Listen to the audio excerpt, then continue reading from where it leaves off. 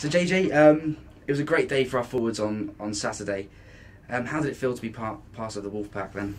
Uh, it's, it's it's it's an awesome feeling, you know, especially us um, going smashing them up up in front. You know, it's always tough uh, playing at um at um at Kingsholm with a with a massive crowd, but you know with uh with us uh, forward pack trying to stay composed and stuff. It's it's really good.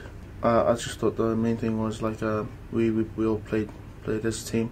You know, our defense was really, went really well, and um, you know that's what mm, what that's what made us um, stop them um, trying to trying to run their game and stuff. So now the attention turns to the Heineken Cup. How are the guys approaching this match?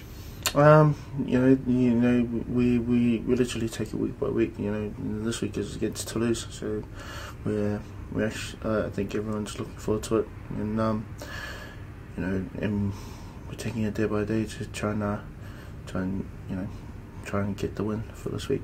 So it was tight last time at Wembley. Yeah. Um, are we expecting a similar sort of game uh, this time round in France? Uh, yeah, we, we, we're probably looking something similar like that, but you know, but we're we're trying to trying to trying to do do better than than what we did uh, uh, against Toulouse at um, Wembley.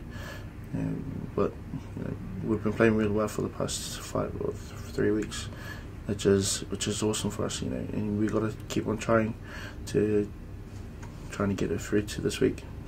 So we, we could be uh, you could be facing your brother um, this week. Have, have, you spoken to him before? before? Uh, yeah, we, we spoke to each other, um, and like he's just pulling up banter for for this uh, for this weekend. So I, I suppose we are both looking forward to playing each other.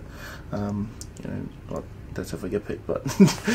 so will, will, the family be there?